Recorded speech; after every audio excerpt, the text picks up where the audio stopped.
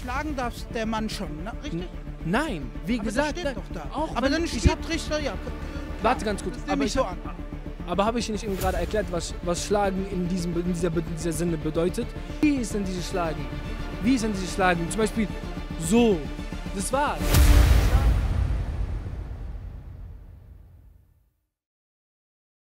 Dass wir ein friedliches Gespräch haben, dass wir miteinander einfach schön miteinander kommunizieren und ein bisschen. Genau, genau. Also, äh, Thema war so quasi, wir Christen sind davon überzeugt, dass nur die Bibel die Wahrheit ist und wir äh, sind nicht davon überzeugt, dass der Koran die Wahrheit ist und wir sind davon überzeugt, dass der Koran heute auch äh, Gewalt ausübt. Und zum Beispiel, es gibt einen Vers, wo ich damit anfangen würde. In Sura 4,34 steht, dass man seine Frau schlagen darf. Wie würdest du diesen Vers erklären? Okay, guck mal. Äh, erstens fangen wir mal an zuerst äh, Surat Nisa, also halt, äh, warte ganz kurz, schon mal mein Handy raus, damit wir gescheit darüber reden können. Also wenn es kein Problem für dich ist natürlich. Überhaupt nicht. Alles klar, perfekt. Dann gehen wir mal einmal ähm, Koran, Koran, wo ist denn die Koran-App bitte? Hier ist die. Dann gehen wir mal. Suche wir, welche nochmal bitte? Sura 4,34. 434. Ich lese mal auf Deutsch. Okay, lesen wir. Männer sind ähm, die Versorger.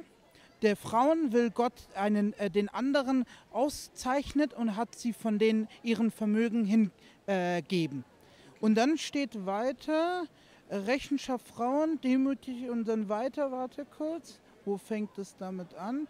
Und jede Frau von jenen, die Widerspenstigkeit befürchtet, tadelt sie, verbannt sie ähm, in ihren Ehebett, also das heißt vermeidet sie auf Ehebett und schlag sie. Und ähm, wie erklärst du so quasi, wenn du sagst, okay, ähm, es ist, wie erklärst du diesen Vers? Wenn ein Mann seine Frau nicht mag, so hat Allah uns drei Medikamente im Koran gegeben, wie man mit der Frau umgeht. Welche drei Medikamente? Wie sollen wir mit ihr umgehen? Am besten Leute, die schon geschieden sind, die haben dieses Thema durch. Shaban, bist du noch verheiratet? Wundert dich selber, ja? Na, bitte. Ermahnt sie, Nummer eins, meidet sie im Ehebett und schlagt sie. Natürlich das Schlagen, was hier gemeint ist, Richtig, nicht mit Anlauf und dann Kopfnuss, Bierkaffer, wie ihr das bei manchen Leuten kennt, sondern bedeutet, ermahnt sie oder, was haben wir gesagt? Meidet sie im Ehebett oder schlagt sie. Da, da haben wir schon den Vers, da hast du vollkommen recht, weil eher so auf der deutschen Übersetzung ist für mich schwierig als auf der arabischen Übersetzung. Für mich, ich empfehle eher Arabisch besser, weil es die originale Sprache ist vom Koran. Und zwar, da gebe ich dir vollkommen recht, aber eher umgekehrt herum. Wie hat denn der Prophet seine Frauen behandelt? Hast du dich mal darüber nachgefragt? Okay, äh, ich ähm, kenne eine Sache, aber ich weiß nicht, wo die Stelle genau ist.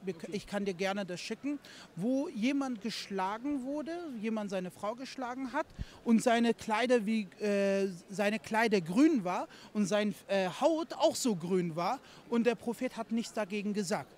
Verstehst du, wie ich meine? Ich verstehe, was du Kennst meinst. du diese Hadith? Nein, leider kenne ich diesen Hadith nicht, aber ich sag dir mal so, Bruder, dass der Prophet, der hatte ja vier Frauen, mehr, der hatte zwölf, bis zu zwölf Frauen, warte, äh, lass mich aus, der hatte bis zu zwölf Frauen, okay? Und diese acht Frauen, die er noch zu sich dazu geholt hat, waren, waren ähm, verwitwete Frauen, also deren Männer in den Krieg gezogen wurden, die in den Krieg gezogen sind und nicht wieder zurückgekommen sind. Also so ein Ding war das. Deshalb durfte er also acht, weitere acht Frauen heiraten. Aber einschließlich die vier, die er hatte, die, die wirklich mit ihm verlobt sind und verheiratet, die wirklich nie, zu ihm nahe standen, hat er nicht geschlagen. Denn, wie heißt es nochmal, ähm, dann, äh, in Surat Nisa, also Sure, Sure 3, der erste Vers, warte ganz kurz, äh, ich rezitiere. Steht eins, äh, zwei bis drei bis vier Frauen davon. Genau, danke. Ich kenne den Vers. Du kennst diesen Vers. Gut. Allah, keine Ahnung. Und da gibt es auch, auch einen Vers, Bruder, guck mal, hör mal zu. Da gibt es auch einen anderen Vers, wo er sagt, äh, الرجال قوم على النساء بما فضل بعضهم على بعض ما انفقوا من انفسهم فالصالحات قانتات حافظات غير ما حفظ الله والتي تخافون نشوزهن فعظوهن وابتغوا يضربون في نية على كفرة وعن سبيل الله كان عليا كبير خفتم شقاق بيننا فابعث واحد من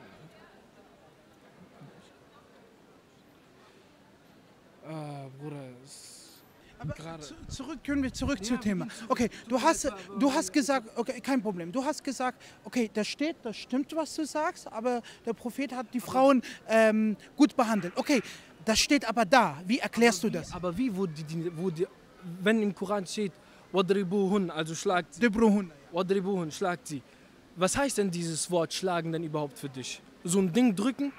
Nein, eigentlich nicht. Guck mal, Bruder, im Koran, du musst dir vorstellen, warum, warum erwähnt denn Allah im Koran, zum Beispiel, wenn, wir mal die Sura anfangen, Bismillahirrahmanirrahim, im Namen Allahs, der Allerbarmherzigste, Barmherzigste. Okay, Ja, oder nein? Da sind wir uns einig. Das erwähnt er immer bei jeder Anfang. Okay, außer eine Sure, die, äh, die heißt Surat Tauba. Die, die fängt nicht damit an. Die ist die einzige Sure. Aber Bruder, wie, wie erklärst du denn, dass Allah dir sowas sozusagen ähm, dir erlaubt, eine Frau zu schlagen, obwohl es eigentlich umgekehrt herum ist, dass die Frau im Islam Wert, das, das wertvollste Geschenk ist für den Mann. Verstehst du, was ich meine? So, es, kann, es gibt ja, es, gibt- es, gibt, es, gibt kein, es ergibt keinen Sinn, sorry. Es ergibt wirklich gar keinen Sinn dafür. Weil zum Beispiel schlagen, wie wir uns, uns Menschen verstehen würden, ist Teil, dass wir deren ein Ding, dass wir uns gegenseitig prügeln oder dass wir zum Beispiel sie mit Blut beschmieren oder keine Ahnung mit was. Verstehst du, was ich meine? Aber halt, ist halt nicht so. Viele verstehen es falsch, ist halt nicht, wirklich nicht so. Eine Frau zu schlagen heißt nicht, du, du gibst jetzt so eine Bombe, bis sie ohnmächtig wird. Es gibt un unzählige Leute, die sowas machen. Auch 100% im christlichen Teil gibt es so welche Leute, die krank so sind und die Leute und die ihren eigenen Frauen zusammenschlagen. Aber was schlagen bedeutet, heißt zum Beispiel Kleinigkeit, zum Beispiel so anfassen, nicht hundertprozentiges Schlagen. Verstehst du, was ich meine? Es, es, die Frau darfst du gar nicht anfassen überhaupt, damit du Bescheid weißt. Ich, äh, ich verstehe den Punkt. Natürlich gibt es Menschen, die das machen. Ich glaube, dass du nicht so jemand bist, keine Frage. Äh, ich glaube, du wirst deine Frau bestimmt sehr respektieren. Aber es geht nicht darum, ob jemand das macht oder nicht. Wir gucken diese Quelle, diese Sura und Ayah, ob das da steht. Und kannst Aber du. wieso rezitierst du nicht weiter die Eier? Das ist die Frage. Okay, dann erklär mir, was geht's weiter. Das ist kein Problem. Ich hab, wir haben ja auch ausgemacht, dass wir miteinander reden friedlich, dass wir einen Dialog haben und äh, genau. Und äh, wenn wir nicht weit kommen, dann lassen wir diesen Punkt. Dann hatte ich noch zwei andere Fragen und dann ähm, können wir zusammen Dürüm essen. Alles gut, gar kein Problem. Ja, können wir machen, wäre gar kein Problem. Ich bin, äh, okay. Äh, Islam.de, Surat Nisa, im Namen Allahs, 35. Also du hast gesagt von, äh, und wenn ihr und wenn ihr Widerstreit zwischen den beiden befürchtet, dann setzt einen Schiedsrichter aus seiner Familie und einen Schiedsrichter aus ihrer Familie ein. Wenn sie beide eine Aussöhnung wollen, wird Allah sie beide in Einklang bringen. Gewiss ist Allah all, gewiss, gewiss Allah ist allwissend und allkündig. Also was heißt es? Guck mal, guck mal, du hast von, von Ayah 34 rezitiert, okay? Hier ist der Vers.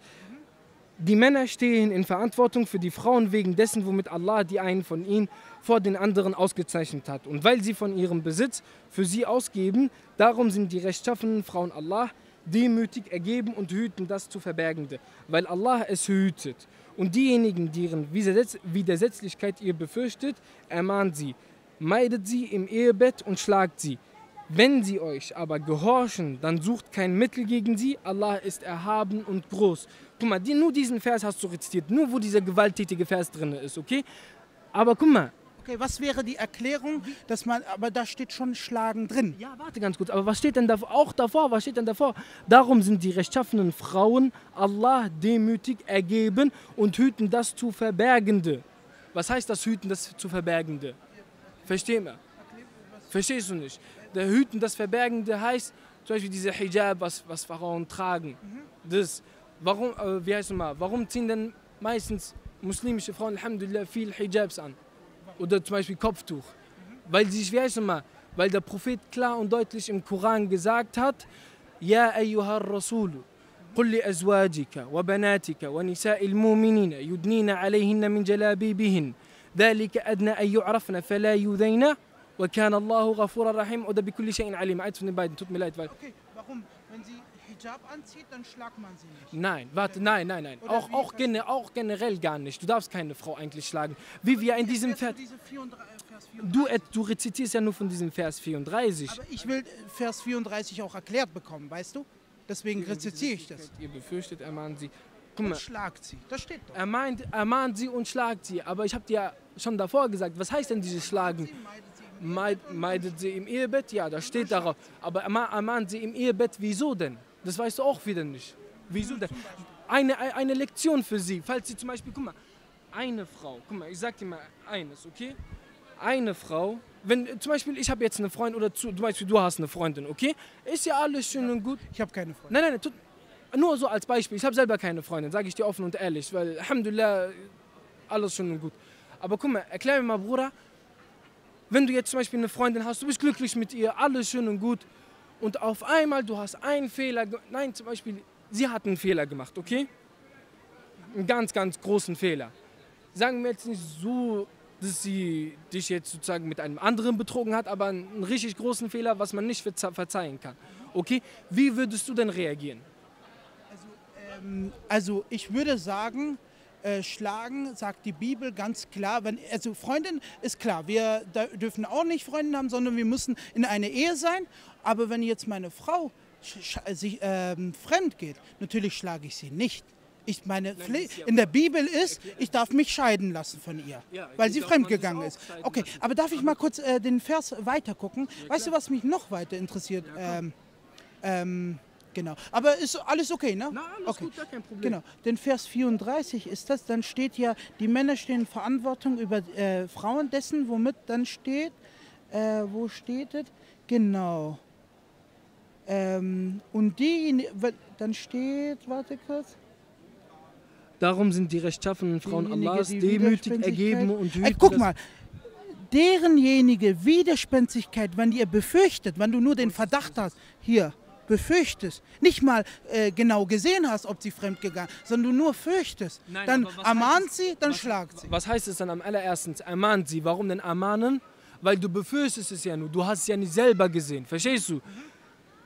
Die deutsche Übersetzung, ich sage es immer wieder, die deutsche Übersetzung ist nicht die hundertprozentige Übersetzung. Nicht vom Arabischen. Vom Arabischen her, wenn man Arabisch gut kann, wird man es auch verstehen. Aber nicht, wie heißt es mal, aber nicht nur diese Teile. Okay, was heißt das auf Arabisches? Das heißt, الرجال قوامون على النساء. أعوذ بالله من السميع العليم من الشيطان الرجيم. الرجال قوامون على النساء بما فضل الله بعضهم على بعض وبما أنفقوا من أموال من أنفسهم. فالصالحات قانتات حافظات للغيب بما حفظ الله واللاتي تخافون نشورهن فعظوهن واهجروهن في المضاجع واضربوهن. فإن أطعناكم فلا تبغوا عليهن سبيلا إن الله كان عليا كبيرا وإن خفتم شقاق بينهما فابعثوا أحدا فابعثوا أحد Bitte den Vers, ich der Vers ist fertig. bitte dich. Komm, Okay, ja, aber du brauchst mir nicht andere Suren Nein, nein, nein, rezitieren. nein, Ja, genau gleiche ja, okay. Mal hier, und hier und hier geht's weiter, Bruder. Und hier geht's weiter. وإن خفتم شقاق بينهما فابعثوا أحدا من أهلها وأحدا من أهل... Guck mal, und wenn ihr wieder, wieder Streit zwischen den beiden befürchtet, dann setzt einen Schiedsrichter aus seiner Familie und einen Schiedsrichter aus ihrer Familie. Sozusagen, es müssen Zeugen, zum Beispiel hier bei... Das heißt, schlagen darf der Mann schon, ne? richtig? Nein, wie Aber gesagt... das steht doch da. Auch aber dann steht Richter, ja. Klar, Warte ganz kurz, Das aber ich so an. Aber habe ich nicht eben gerade erklärt, was, was Schlagen in diesem, in, dieser, in dieser Sinne bedeutet? Nicht schlagen das, was wir Menschen von uns kennen, diese... Wie wäre ein Schlagen? Zum Beispiel, Wie würdest du deine Frau schlagen? ich würde sie nicht schlagen, ich Aber würde sie doch da. an. Aber steht doch da, dass du das Guck da. mal, aber wie ist denn dieses Schlagen? Wie ist denn dieses Schlagen? Zum Beispiel so, das war's. Schlagen darf man nicht. Ist verboten. Weil wir, wir, warum sagen wir, wir leben nach dem Koran und nach der Sunna? Sunna ist der zweite, das Koran ist das erste und das und Sunna ist die zweite, okay? Was der Prophet gemacht hat, hat er Aisha radiallahu anha geschlagen? Nein. Hat er seine anderen drei Frauen geschlagen? Nein. Okay. Verstehst du? Okay, gut. Dann lassen wir dieses Punkt äh, so stehen. Okay. Kein Problem, du hast deine Antwort gegeben, aber ich muss auch ehrlich sagen, ist okay. Okay, ich hat mich nicht überzeugt.